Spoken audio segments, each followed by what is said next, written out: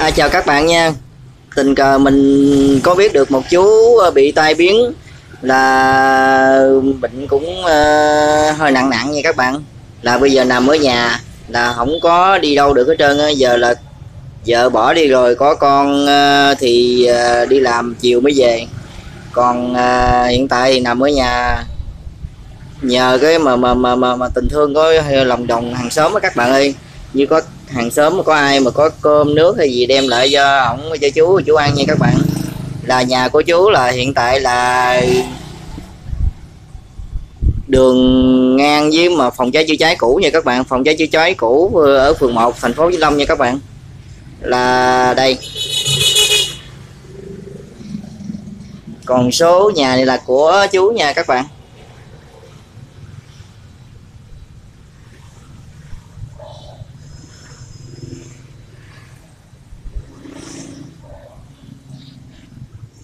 Còn đây là nhà của chú nha các bạn. Mình giao thăm chú nha. À, chào chú. Chú tên gì vậy? Chị hả? Ủa hôm hổm nói chú on mà.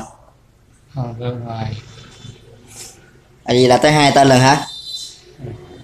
Chú hai tên hả? Mình dùng bên chị tình không nói tên thường dùng thôi tình dừng dùng vậy để cho người ta biết người ta dễ biết á. Người ta dễ Ờ. biết dạ. Rồi ờ, chú năm nay bao nhiêu tuổi rồi? Em mốt tuổi. 61 ha. Rồi ờ, vợ chú ờ, còn đây không hay là? Có đi rồi. Vậy ha đi hồi nào với chú? Thì sáng này. Hả? Sáng năm này. Vậy ha. Vậy là hồi chú là mới bắt đầu bệnh tới giờ ha. Rồi ờ, còn ai nữa không chú? Vợ con vợ ý còn con chú con chú chắc đi làm mày ha. Cha làm ở ờ, đâu chú và phú. Chiều chiều mới về ha. Thì tối về. Dạ. Vậy là bây giờ buổi trưa là chú nằm ở đây chắc không có ờ, nhờ mà mà lòng tình thương của hàng xóm ấy chứ. Chứ đâu có mà mà đi đứng được đâu ha. Như có ai mà cho cơm nước cho mình lại mình ăn ha. Cơm ăn phút ừ thì có ai ờ, ai mà thương mình thì mình ờ, đem đồ ăn lại mình ăn chứ mình đâu có đi đâu được đâu, đúng không? đây là ờ, chú on này các bạn ơi. Đây là giờ chú nằm một chỗ nè, không có đi đâu được hết trơn.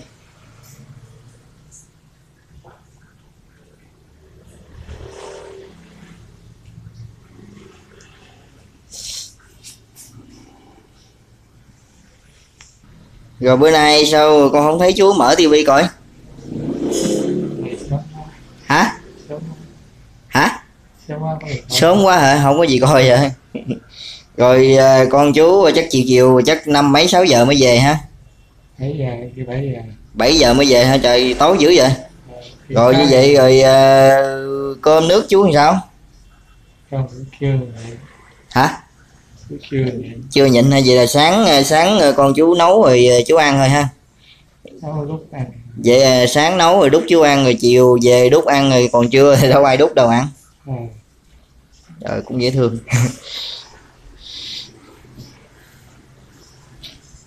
Các bạn thấy không? Cái hoàn cảnh của chú cũng thấy thương quá trời ha.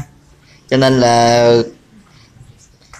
các nhà hảo tâm hay các bạn mà ở xa mà có thấy được cái clip của mình đang quay nè, thì ờ, nhớ ủng hộ cho chú nha. Nhớ ủng hộ cho chú nha. Thấy không? Chú ờ, nằm một chỗ bị ờ, tai biến mà đâu có đi đâu được đâu. Thấy thương lắm nằm một chỗ.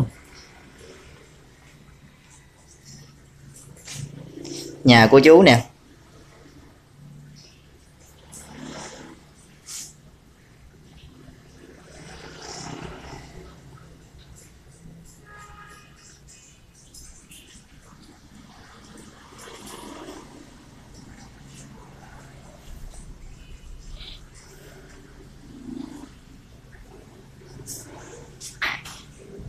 Rồi con của chú là năm nay là lớn chưa?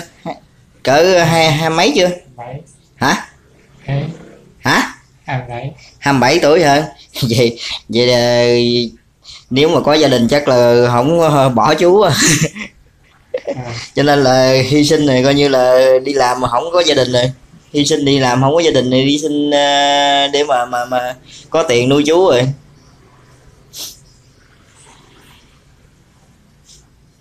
cũng dễ thương quá trời thương luôn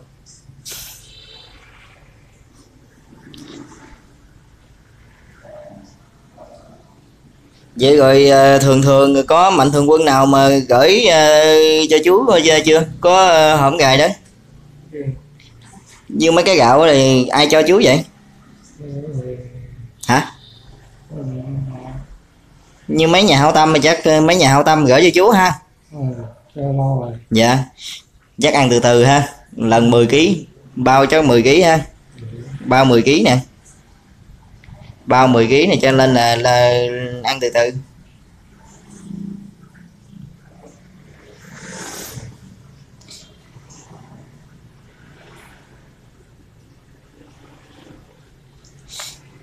Rồi con à, cũng uh, quay chú xong rồi ha. Về rồi hỏi, nãy giờ cũng ờ, mấy câu hỏi thêm, nãy giờ cũng rồi ha. Rồi có gì ờ, con hỏi ờ, từ từ đi, con có ai mà mà mà nhắn hay gì, rồi con hỏi cho hỏi lại chú ha. Lại hỏi chú ha. Rồi con bổ sung tin tức thêm nha.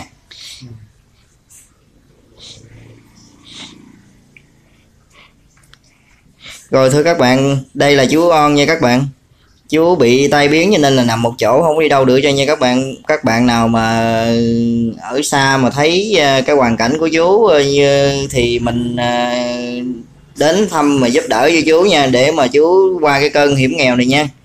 Tại vì mình thấy chú bị nằm một chỗ ừ, ban ngày thì còn đỡ mà ban đêm có khoảng năm mấy sáu giờ mà nằm mà, như vậy mũi cắn chết luôn tội nghiệp lắm cho nên là các bạn nào mà ở xa mà thấy mà cái hoàn cảnh của chú vậy thì uh, hãy đến mà mà mà giúp đỡ chú ha. Rồi tạm biệt các bạn nha.